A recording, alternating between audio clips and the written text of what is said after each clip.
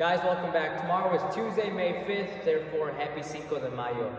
Tomorrow's strength is going to start off with, with having a Tabata style uh, element. Going to be three different exercises. Going to treat all of them with the same trend 20 seconds of work followed by 10 seconds of rest for a different amount of uh, rounds, if you will.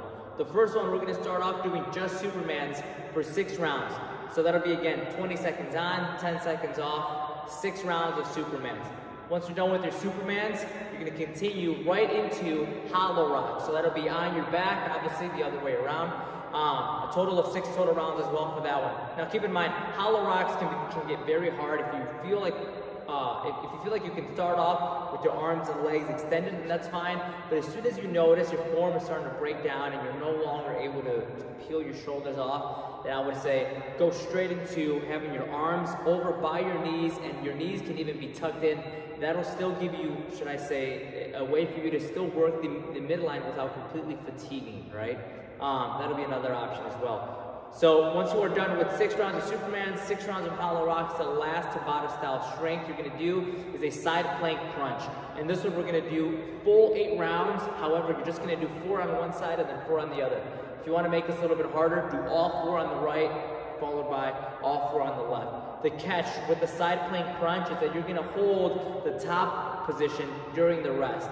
So 20 seconds on, 10 seconds off. During that 20 seconds off, you're gonna be holding the top, and then again, on the on, you're gonna move back and forth for 20 seconds. Treat that for both sides, all right? Now that'll conclude the strength. Should take you right around that 10 minute mark. After that, the conditioning piece for today is going to be a 10 minute EMOM. We're gonna work to work through two different things. Both of them are going to be of time, uh, of time elements, if you will. 20 seconds of max burpees to start off every minute, followed by 40 seconds of alternating pistols or step-ups. Now, whatever one feels the most comfortable. Keep in mind, the goal would be to count however many total pistols or step-ups you get done throughout the entire workout, right? Or even the burpees.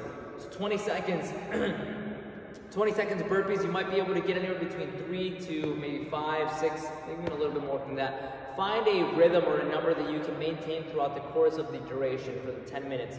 So burpees, if you're able to get four every minute to start off the 20 seconds, then that's fine.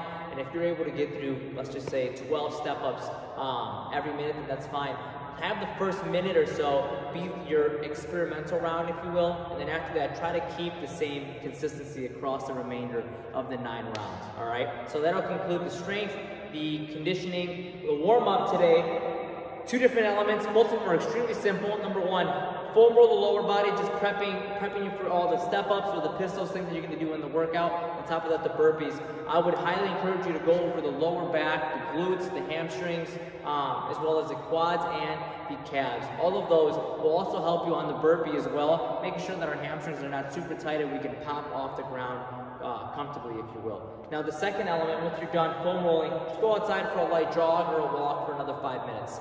Guys, all in all, Tuesday's workout should be done well within 30 minutes. The warm-up should take you at the highest end 10 minutes.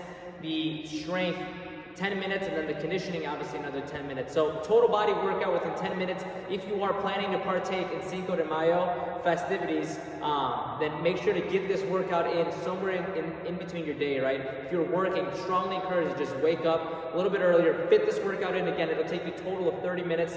Total body workout, you can get it done and then enjoy yourself for the remainder of the day. Happy Cinco de Mayo, enjoy the workout, and hope to see you guys soon. Take care.